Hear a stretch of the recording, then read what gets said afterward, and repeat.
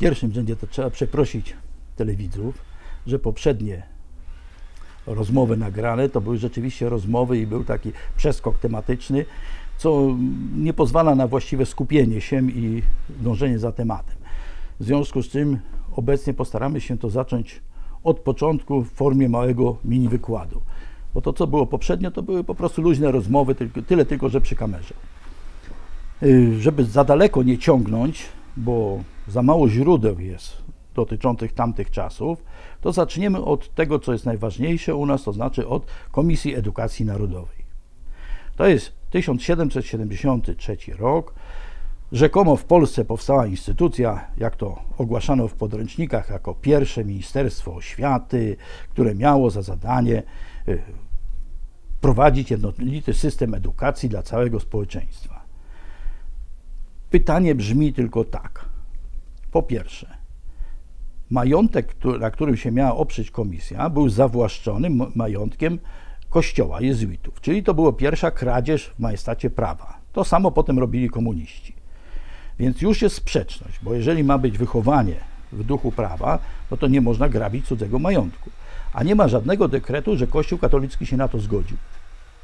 Czyli majątek został przejęty i właściwie rozkradziony, bo biskup Masalski rozdał swojej rodzinie, Hugo Kołądaj także i połowa tego albo większa część tego majątku zginęła. Po drugie, wcale nie jest prawdą, że to robił yy, Komisja Edukacji Narodowej, czyli paru księży w Polsce, plus tam inni, inne osoby, ale cały ten wymysł to był Diponta. Dipont to był agent, który przyjechał do nas z Francji. Otóż pan ten najpierw na zlecenie angielskie przez 10 lat reformował szkolnictwo w Francji. Skutki tej reformy były takie, że po 10 latach działalności Francuzi dorośli do tego poziomu, że zamordowali własnego króla. I to jest najważniejsza sprawa, najważniejszy skutek tej reformy pana Diponta. Pan Dipont przyjechał do Polski, w jakiś dziwny sposób udało mu się przekonać króla i powstała taka komisja jako pierwsze ministerstwo. I znowuż po 10 latach wyjechał z Polski do Stanów Zjednoczonych, gdzie przy pomocy Washingtona zaczął reformować oświatę w Stanach Zjednoczonych. Zachowały się w Bibliotece Kongresu Stanów Zjednoczonych listy Jeffersona, do, e, listy DuPonta do Jeffersona i do Washingtona, jak należy przeprowadzać reformę oświaty, żeby wyciągnąć jak największe wnioski, czyli jak ogłupiać ludzi, żeby robili to, co my chcemy. Robił to pan DuPont bardzo dobrze, bo dostał w nagrodę monopol na produkcję prochu. Wiadomo, że Stany Zjednoczone w ten czas toczyły liczne bitwy z Indianami, z Meksykanami i tak więc to dało mu olbrzymią bazę materialną i dzisiaj mamy największy koncern chemiczny, to jest właśnie DuPont, a to jest z tych właśnie DuPontów. Wracając do Polski. Pierwsza, pierwsze reformy, które rzekomo zrobiono, polegały na dopracowaniu systemu takiego otumaniania ludzi, żeby oni wszyscy myśleli w podobny sposób. Jest to sprzeczne z całą cywilizacją łacińską, dlatego że cała cywilizacja grecka, później rzymska i łacińska opierały się na indywidualności. Tylko indywidualizm potrafił wytwarzać nowe wartości. Wiadomo, że y, nie można, znaczy może inaczej.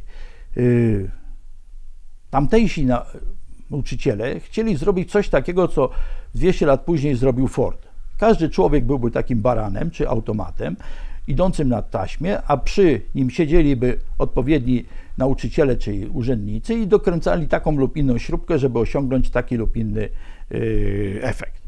Y, tak się niestety z ludźmi y, nie da robić. Taśma ma swoje uzasadnienie, bo powoduje potanienie kosztów produkcji i efekt jest z góry wiadomy. Czyli można wybrać każdy samochód, byle byłby czarny.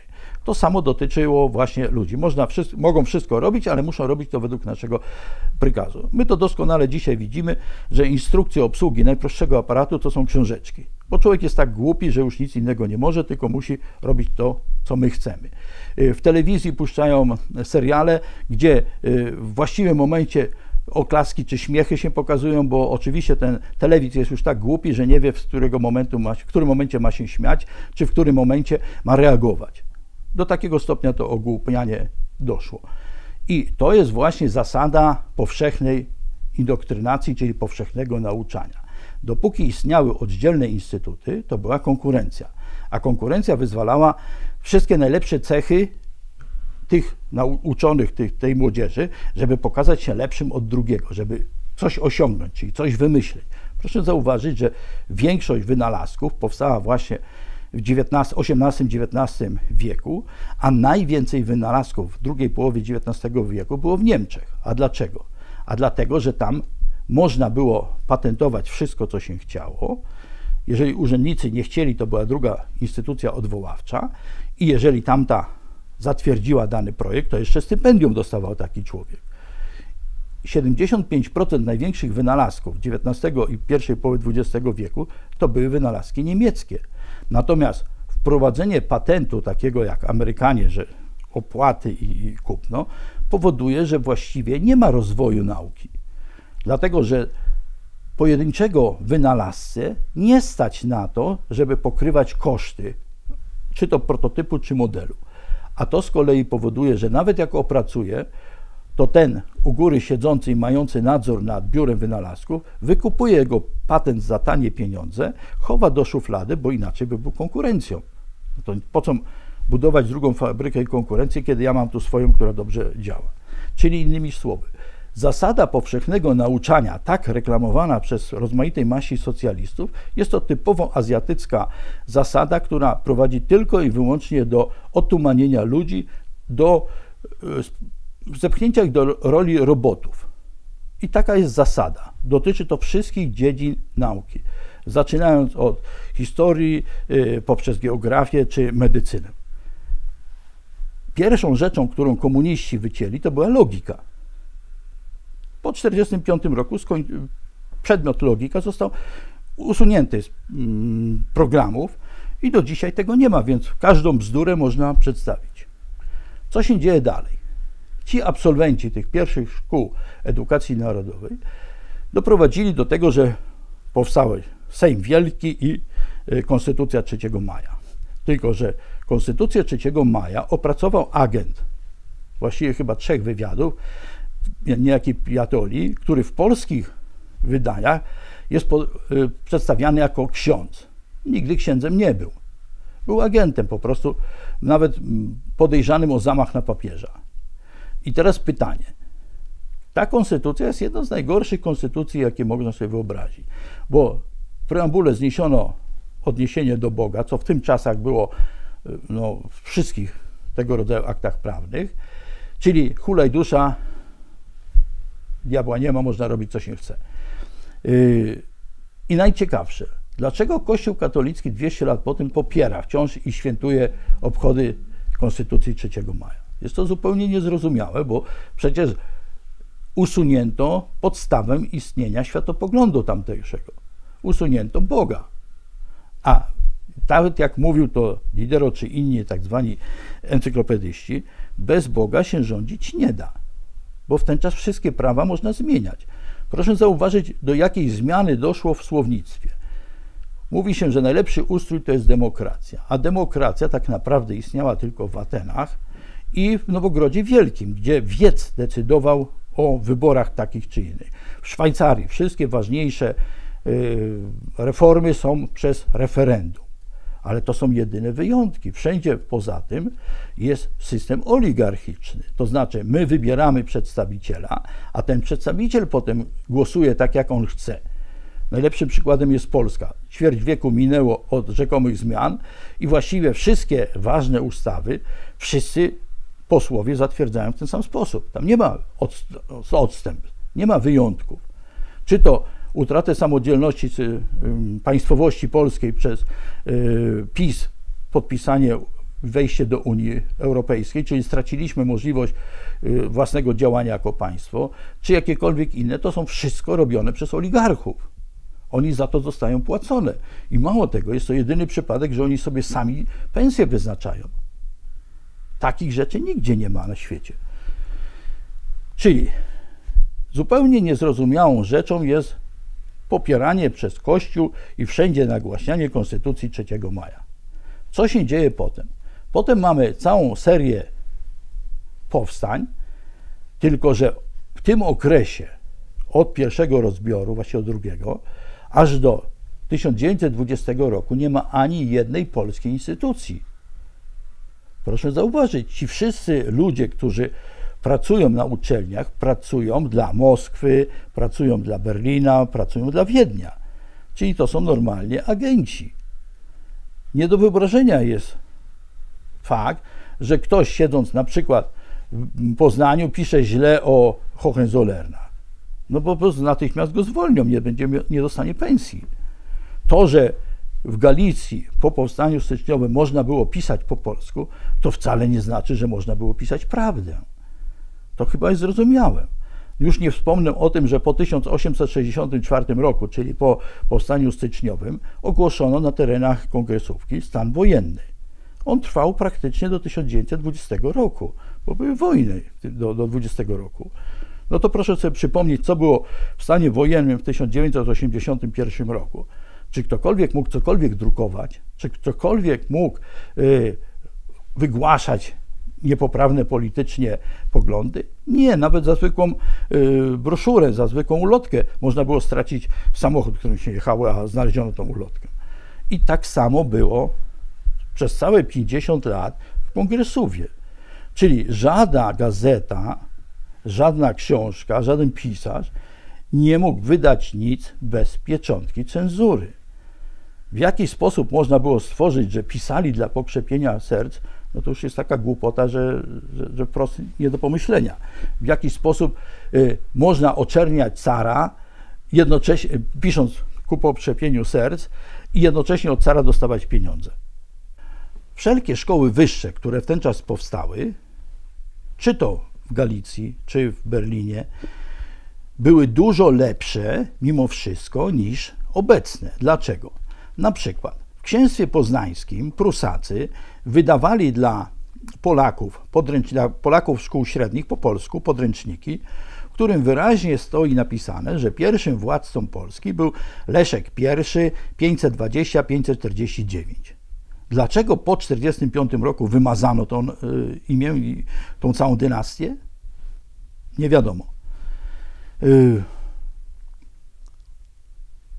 książki Szajnochy czy y, księdza profesora Kalinki są bardzo dokładne. Z detalami opisują niektóre rzeczy, ale on podaje tylko to, co się działo na terenie, na przykład Podola czy na przykład Wołynia w ogóle nie podają kontekstu międzynarodowego. Ksiądz profesor Kalinka, pisząc na przykład o powstaniu, chciał zapoznać się z dokumentami angielskimi i mu odmówiono. Zresztą dziwne jest, ale w ogóle dla polskich naukowców, dla polskiego społeczeństwa dokumenty znajdujące się w archiwach brytyjskich są tajne. Mimo, że przez tyle lat współpracowaliśmy, mimo, że tylu, tyle tysięcy Polaków poległo za Anglię, nadal nie możemy otrzymać żadnych wiarygodnych dokumentów, nawet tych, które były powiedzmy przed 500 laty. I to jest zastanawiające. Nie można pisać historii żadnego kraju w oparciu tylko o własne dokumenty, bo to jest bzdura. Po pierwsze, dlatego, że tyle wojen tutaj było i tyle pochodów rozmaitych wojsk, że księgi to były najlepsze rzeczy, które się paliły. To zniszczeniu ulegało najszybciej. A yy, jeżeli coś rabowano, no to wywożono. I najlepszy dowód, że wszystkie księgi policji y, galicyjskiej znajdują się w Ameryce w y, Instytucie Massachusetts Institute of Technology, a nie w Polsce czy gdzieś indziej. Y, wracając do powstań. Żadne z powstań nie było robione dla Polski. Wszystkie te powstania były robione w jakimś konkretnym celu. Czy to dla Hohenzollernów, czy dla e, Francji, e, czy dla działań angielskich. Powstanie styczniowe konkretnie to było odwrócenie uwagi od zajęcia państwa watykańskiego. I przez całe 50 lat wszelkiego rodzaju publikacje nie mogły się na ten temat ukazywać. zrozumiałych względów. No nie można pisać o kimś. Konkretny przykład. Powstanie y, styczniowe, tak zwanym dowódcą białych był Kronenberg, czyli ekonomista, a po stronie czerwonych był niejaki Majewski, jego sekretarz. No, czyli w rodzinie jak gdyby prowadzono dwie grupy powstańców. Z tym, że Kronenberg nie był samodzielnym bankierem. On był po, yy, współpracownikiem Steina, a to z kolei za nim stał Rothschild. I chodziło po prostu o przełożenie yy, części ludności i fabryk bliżej granicy z Niemcami, bo Niemcy się zbroiły do wojny. Osiem lat później była przecież słynna wojna z Francją i potrzebowały mundurów, ubrań i tak dalej. Czyli łatwiej było bawełnę przywozić na tereny przygraniczne, tutaj produkować i przemycać ją do y, państwa pruskiego. Y, Kronenberg, rzekomy dowódca białych w powstaniu styczniowym, y, za swoje wybitne usługi dla cara dostał tytuł barona dziedziczny, dostał monopol na budowę kolei warszawsko-kijowskiej i dostał monopol tytoniowy. No to jaki to był przeciwnik cara, jak tyle dostał? Jednocześnie rzekomo zakupywał broń dla powstańców za milion rubli, tylko tak się dziwnie złożyło, że na granicy już czekały na to y, wojska rosyjskie i brały to, y, sowieckie, właśnie moskiewskie i brały to. Bardzo łatwo można znaleźć fałszerstwa. Jeżeli ktoś pisząc o powstaniu styczniowym czy listopadowym używa słowa Rosja, no to już wiadomo, że to jest fałszerstwo, dlatego że w tym czasie istniało pojęcie tylko Moskwa. To było carstwo moskiewskie.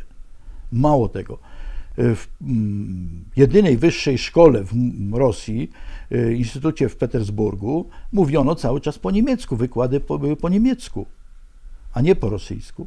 Czyli innymi słowy, tam elitę stanowili Niemcy. Wszyscy generałowie rosyjscy, Suworow, Dejbicz, Kutuzow, to byli oficerowie niemieccy kontraktowi. W związku z tym, że ci ludzie po 20 roku, jak się stworzyła Polska, zostali na swoich stanowiskach. Czyli w dalszym ciągu, w latach 20., w okresie międzywojennym, uprawiali tą samą propagandę. Bo jeżeli ktoś przez lat 20 czy 30, nim się dosłużył tego tytułu profesora, okłamywał ludzi albo podawał niepełne informacje, to nie może nagle przestawić się i powiedzieć, no tak, w ten czas to ja kłamałem, ale dzisiaj to będę mówił prawdę. To, to jest niemożliwe z punktu widzenia psychologii. I teraz proszę zauważyć, co się dzieje dalej. Po 1945 roku, kiedy prawie 26% polskich nauczycieli wymordowano, 75% polskich profesorów wymordowano, ktoś musiał ich zastąpić. No i stworzono takie kursy, na przykład w Gdańsku na ulicy Piastowskiej była taka szkoła prawników. Po trzymiesięcznym kursie dostawał sędziom, prokuratorem taki osobnik. Niektórzy pracowali do lat 80. I ci ludzie tworzyli prawo. Jeżeli on sam nic nie umiał, no to kogo on mógł czego nauczyć? Proszę zauważyć, że obsadzanie wszystkich instytutów naukowych było po bazie, czyli nie wiedza, nie y, wynalazki, tylko nominacja musiała być z komitetu partyjnego. I w ten sposób powstawali wszyscy kierownicy katedr, zakładów itd. Tak nie wdając się tu w specjalne imienne jakieś przykłady. Podam tylko, że Katolicki Uniwersytet Lubelski, który y, w Lublinie niedaleko Majdanku się znajduje, czy, czy słynnej katowni, zamku, do lat 90. nie opracował ani jednego, ani jednej pracy na temat tego, co się działo w tych katowniach po 1944 roku. A przecież te instytucje, zarówno Majdanek, jak i więzień, jak i zamek, działały prawie do 1953-1954 roku. Czyli znacznie dłużej niż były y, okupowane przez Niemców. Ile tysięcy ludzi tam wymordowano, jak pokaleczono? Nie ma. A na Uniwersytecie y, na Kulu są chyba dwie czy trzy katedry historii. Więc to świadczy, jaki to jest zasięg, jak to jest mocno trzymane w ryzach i jak nie, jaka jest niemożliwość wyzwolenia się z tego. Mamy rok 80. Jest stan wojenny. Y, Gęsek Jaruzelski, alias Słuckin, alias, y, jak tam jeszcze, no tam Margules i tak dalej, tych pseudonimów jest dużo, więc nie wiadomo, które jest prawdziwe. y, rozdał w pierwszym roku stanu wojennego 1320 nominacji profesorskich. Ci ludzie żyją. Oni tworzyli następnych, bo oni siedzie, zasiadali w radach naukowych. Oni recenzentowali wszystkie prace doktorskie, habilitacyjne. To jak oni mogą teraz stwierdzić, no tak, tamtą historię to ja pisałem źle, ale teraz będę pisał. Oni nadal to samo, tą samą dezinformację i te same przekłamania wciskają młodzieży. Proszę zauważyć, że mieliśmy około chyba 70 paru szkół wyższych i nagle po 90 roku mamy 470. A skąd mieliśmy mieć na to wykładowców? Czyli dalej istnieje system centralnej indoktrynacji. Jakiś tam paru urzędników tworzy jakiś tam program, a nauczyciele bezmyślnie to wykonują. I praktycznie nie ma od tego odwrotu, bo przychodzi kurator, który ocenia, co się działo. Czyli to jest całkowite. Jeszcze w roku 92, trzecim to mówiono, że będą programy autorskie. Nic takiego nie istnieje. Jest jeden system, co ma się znaleźć.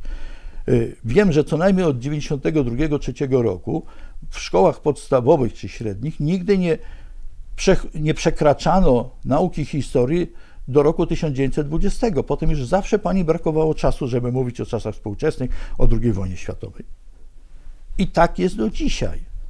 Czyli innymi słowy, zrobiono coś takiego, że naukę historii zatrzymano na I wojnie światowej i dalej młodzież nie ma pojęcia, co jest czym. Jeszcze do tego wrócę, jak to mechanicznie przeprowadzono. Ale ciągłość nauczania jest cały czas ta sama. Według metody Diponta ogólne otumanianie. I my to widzimy w rezultatach, bo rezultatem, czyli produktem szkoły jest uczeń, który ma coś tworzyć. Po to jest szkoła. On nie ma, do, do tego, żeby kopać łopatą, to nie potrzeba szkoły. On ma coś nowego stworzyć. I co się okazuje? Okazuje się, że jeżeli jeszcze w latach 1970 mieliśmy około 400-450 wynalazków, patentów rocznie, czyli tyle samo co Korea Południowa, to oni teraz mają około 14 tysięcy, a mamy około 100. A Niemcy w tym samym czasie mają prawie 17,5 tysiąca patentów, ale mają tylko 80 szkół wyższych. Czyli w sumie mają prawie 6 razy mniej szkół, ale tysiąc razy więcej patentów. Na tym to polega. U nas stworzono szkoły, które właściwie niczego nie uczą. To jest fikcja literacka. Stworzenie y, czy uznawanie jednym dekretem prezydenta, że y, kursy pomaturalne zwane licencjatami są wyższym y, obrazowaniem, to jest lipa. To nie ma żadnego znaczenia. Bo w ten sposób ci ludzie nigdy nic nie wymyślą, oni tylko powtarzają pewne rzeczy, których się nauczyli. Oni nawet nie potrafią skojarzyć dwóch faktów. Mamy przykład prosty. Teraz lansuje się Piłsudskiego jako wielkiego marszałka i wodza. Przecież on nigdy żadnej szkoły wojskowej nie skończył. Nie miał pojęcia o walce. Był zwykłym bandytą, który napadał w latach yy, powiedzmy 1905 na ludzi. Ta słynna rzeź przed kościołem yy, Trzech Krzyży w Warszawie, to byli jego ludzie, to oni robili. Yy, Piłsudski, dzięki swojemu bratu starszemu Bronisławowi, już pod koniec XIX wieku skumał się z wywiadem angielskim. I ten wywiad go za rączkę prowadził, nie mówiąc o tym, że przedtem pracował jeszcze dla ochrany carskiej. O tym świadczy ten pseudozamach na cesarza w Białymstoku, na cara, przepraszam, w Białymstoku. Y, a nasi, co piszą nasi, w cudzysłowie, eksperci historii, że Piłsudski w 1905 roku pojechał do Japonii.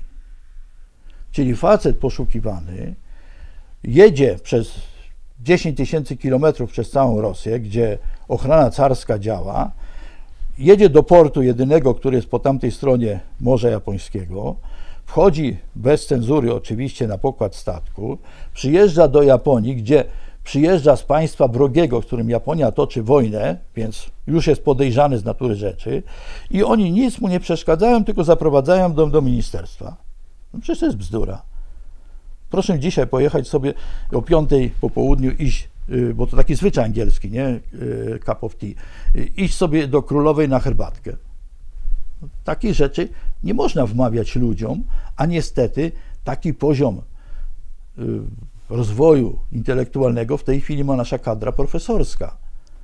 Takie bzdury znajdują się w podręcznikach dla młodzieży.